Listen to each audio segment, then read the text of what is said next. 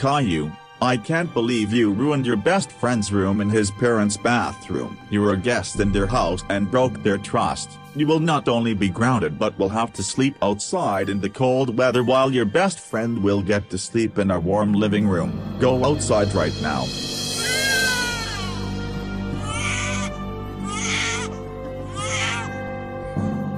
What? Uh, burr, burr, burr, burr.